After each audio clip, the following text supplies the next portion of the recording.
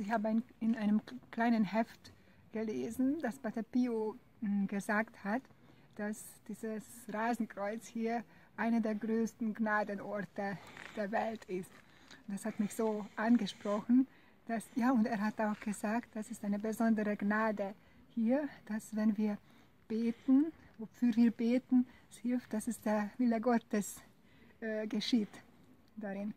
Und dann habe ich gerade meine, für meine Berufung äh, gebetet. Ich habe gesucht meine Berufung und, und dann habe ich gedacht, wenn Pater Pio das sagt, dann, dann pilgere ich hier und bete hier für meine Berufung.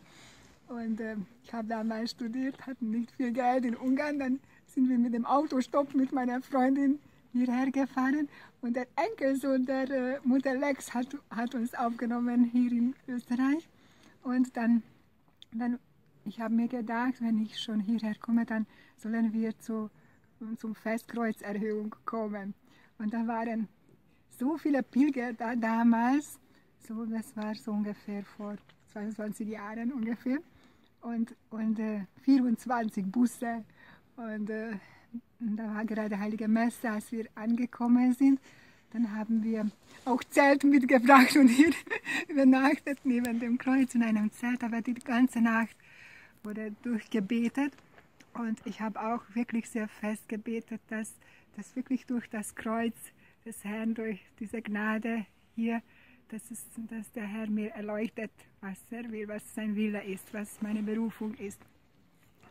Und ich habe die Liebesflamme äh, zwar schon gekannt, aber ich habe auch an andere Orden gedacht, wo ich eventuell eintreten hm, könnte oder hätte mir vorstellen können, äh, einige. Und dann, damit wir nicht äh, wieder mit dem Autostopp heimfahren sollen, hab, haben wir erfahren, dass hier eine, ein kleiner Bus aus Budapest ist. Wir haben gefragt, ob sie uns mit nach Hause mitnehmen könnten. Haben sie gesagt, ja, sie haben gerade zwei Plätze frei. und, und dann, das war gerade eine Liebesflamme-Gebetsgruppe mit einem Priester. Und äh, dann während der Fahrt habe ich mit, äh, mit dem Mann neben mir gesprochen und es ist mir aufgefallen, dass es so klar antworten kann äh, auf meine Fragen. Dass, ich habe selten vorher so erfahren, dass das wirklich jemand so, so dann habe ich schon gedacht, vielleicht war das durch die Erleuchtung der Liebesland, dass er so klare Antworten mir geben konnte.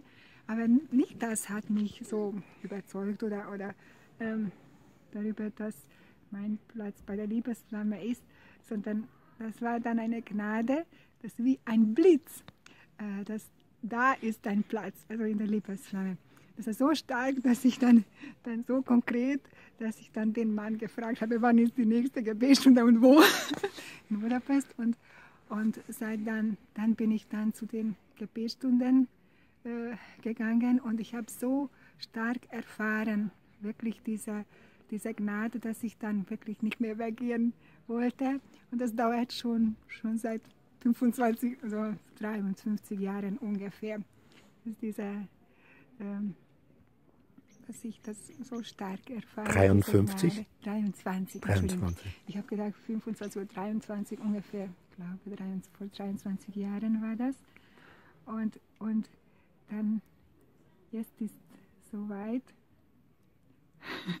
dass, dass eventuell das auch so äh, vielleicht möglich wird, dass, dass man auch als Gott geweiht dann offiziell dann, dann auch in, dieser, in diesem Geist oder Spiritualität dann leben kann. Das ist schon eine weltweite Bewegung, aber jetzt sind wir gerade dabei, das auch als Gott geweiht, also eine Stufe höher, äh, dass wir das ähm, auch anerkannt auch, wird. Genau und, und, und möglich, möglich wird. Gibt es noch etwas, was Sie mit diesem Ort verbindet, mhm. oder? ich bin dann öfters, dann sehr oft hierher gekommen, weil ich immer so, so äh, große Gnade erfahren habe, wie eigentlich selten. Vielleicht in Medjugorje hier und hier am meisten irgendwie die Gegenwart Gottes. Wahrscheinlich wie, wie uns wirklich diese Gnade des, wegen dem Kreuz des Herrn, wahrscheinlich wie das wahrhaftig das Kreuz des Herrn äh, da gegenwärtig mhm. wäre. Und, Und diese Gegenwart Gottes ist so stark hier, dass, dass, dass ich immer wieder, das ist meine, ein, einer meiner wirklich Lieblings, Mhm. Lieblingsgnadenorte. Noch eine Frage. Und nie war ich so da, dass ich das nicht erfahren hätte. Und auch so, so gern bete ich auch für wichtige, für wichtige ähm, Anliegen, weil, weil ich erfahre, dass dann wirklich der, der liebe Gott sehr hilft, dass sein Wille geschieht. Also das stimmt auch. Haben Sie nicht Probleme auch mit den Botschaften von Eisenberg? Ich deshalb nicht, weil ich selbst erfahre die Gnade hier, auch wenn es das Kreuz nicht mehr sichtbar ist. Aber die Trotzdem, Botschaften, kennen Sie die Botschaften von Eisenberg? Ich kenne sie. Und haben Sie keine Angst? Ist das nicht zu pessimistisch?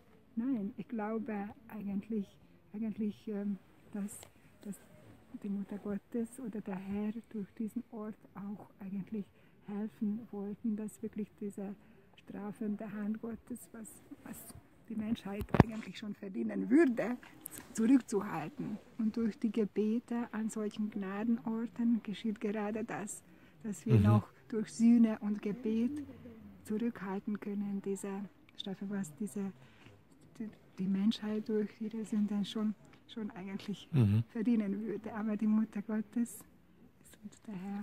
Gerade deshalb gibt es solche Mhm. Möglichkeiten, das abzu, wie sagt man, Abzuwenden. abzuwenden. Genau. Vergelt's Gott. Mutter, rette.